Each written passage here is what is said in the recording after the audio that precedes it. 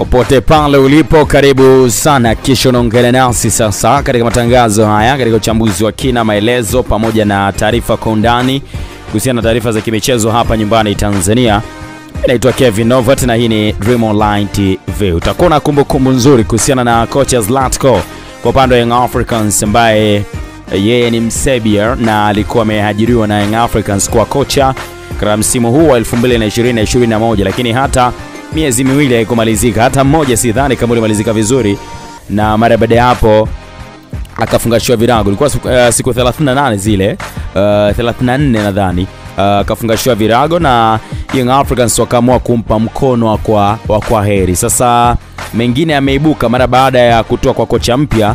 Sasa kuna taarifa nyingine ambayo ninayo kuhusiana na uh, kocha Zlatko ambaye tayari anaonekana ana malalamiko na ameenda zake FIFA kwenda kushtaki Young Africans, na ni matatizo ambayo kwa kiasi kikubwa yeye naona kama yameshindwa kuyapatia suluhisho ama hajapewa haki yake kama anavyostahili. Aliyekuwa kocha wa Young Africans Msebia Zlatko ameibuka na ameamua kwenda kwenye uh, uh, kwenye, kwenye, kwenye, kwenye shirikisho la mpira wa miguu uh, la kimataifa, nazungumzia la dunia FIFA, na kuishtaki Young Africans kutokana na kitendo cha uongozi wa klabu hiyo kuvunja mkataba wake bila ya kuwepo kwa makubaliano yoyote. Hii imeibuka siku chache zilizopita na tayari ameshakwisha kutangazwa kocha mwingine, namzungumzia Cedric Kaze ambaye anatokea Burundi, lakini Mserbia huyu anasema hakukuwa na makubaliano yoyote ya kuvunja mkataba wake, na hivyo ni kama uh, walimfanyia visivyo, na hivyo ameona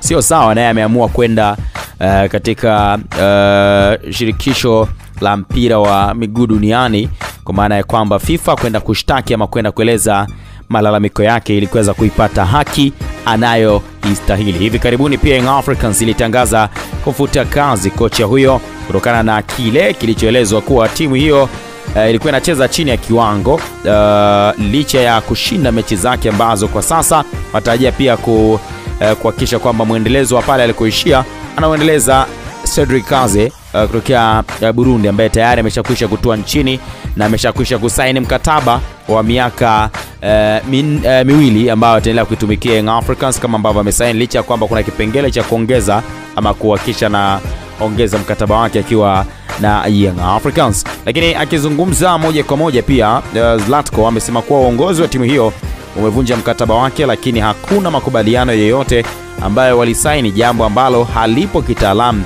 hivyo ameamua kwenda FIFA mwenyewe baada, eh, baada pia kuwafungulia kesi ya madai ya fedha zake ambazo anawadai. Hii inakuja kwa mara ambako yeye binafsi tayari imeshapita eh, siku kadhaa tangu kuondoka kwake, na inaonekana ni kama ameshawaeleza lakini wameshindwa kuelewana ama kufikia mwafaka. Anasema hadi leo uh, anazungumzia juzi uh, hawajasaini makubaliano yoyote ya kuvunja mkataba hawajali kwa sababu wanajua fedha ninayowadai haita uh, haitalipa uh, club kwa maana ya hatoweza kulipwa. Hii ni moja ya vitu ambavyo nadhani pia nilikuwa nazungumza siku moja na wadau tofauti tofauti kwamba uh, kitu ambacho wamekifanya Africans inawezekana mkataba labda sijajua ulivyokuwa kwa maana ya makubaliano yao baina ya kocha na wenyewe mpaka kocha anaamua kushtaki, maanake inawezekana kuna kitu behind ama kuna kitu nyuma ya pazia kwa maana ya uh, kama walivunja mkataba na mkataba wake ulikuwa ni miezi sita, maanake alistahili kuweza kulipwa harama ya mkataba wake uh, ama uh, kile kiasi cha fedha ambacho angetumika kwa miezi sita, kwa sababu waliovunja mkataba ni Young Africans ambao unaonekana kutokuwa na makubaliano kwa mujibu wa kocha Zlatko uh, Kiprovic ambako yeye anatokea uh, Serbia kwa kiasi kikubwa Uh, tangu kuvunja kwake mkataba Young Africans walieleza ni kutokuridhishwa na kiwango ama kile uh, kiwango cha timu kwa maana ya namna ambavyo timu inacheza, lakini ukija kwenye ukweli ni kwamba hali uh, imekuwa tofauti kwa maana ya nini kinacho kinachoelezwa. E bana, taarifa tunayo na kwa hakika mambo yanakwenda vizuri, na tunachokifahamu ni kwamba walichotueleza Young Africans ndicho tunachokifahamu sisi, lakini ukweli kuhusiana na mengine yanaendelea hatufahamu. Lakini uh, anasema namnukuu hapa Zlatko anasema, lakini atalipa bosi wao ambao anafadhili kila kitu.